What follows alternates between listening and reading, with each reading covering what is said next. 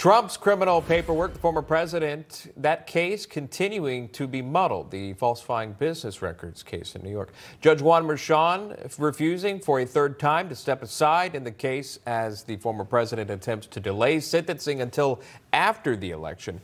And as his presidential immunity in this case specifically remaining up in the air, if you will, new details about just how close Judge Merchan's daughter is to Trump's presidential opponent are emerging. Newsmax correspondent Christina Thompson joins us live from Lower Manhattan at the courthouse where all of this is unfolding. Christina, good morning. Good morning. Well, it turns out that Judge Juan Merchan's daughter had a working relationship with Vice President and presidential opponent to Donald Trump, Kamala Harris.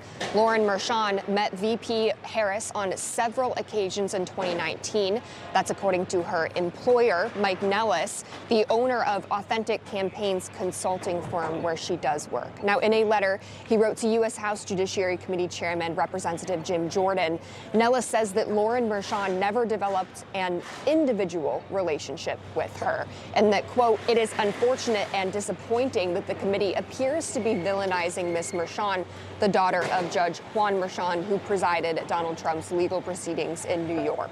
Now, despite Lauren Merchan helping to raise more than $90 million in campaign donations for two major Democratic clients of hers, while using the case in their solicitation emails, a state court ethics panel has said that Merchan could continue as the judge on Trump's case.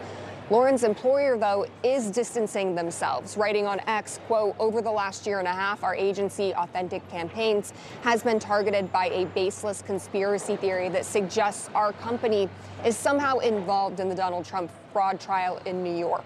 The accusations against us are absurd and completely false. Now, we are still waiting to hear what the court decides as it relates to Donald Trump's immunity claim. Shaun Emma. All right, Christina Thompson, live downtown for us in New York City. Christina, thank you.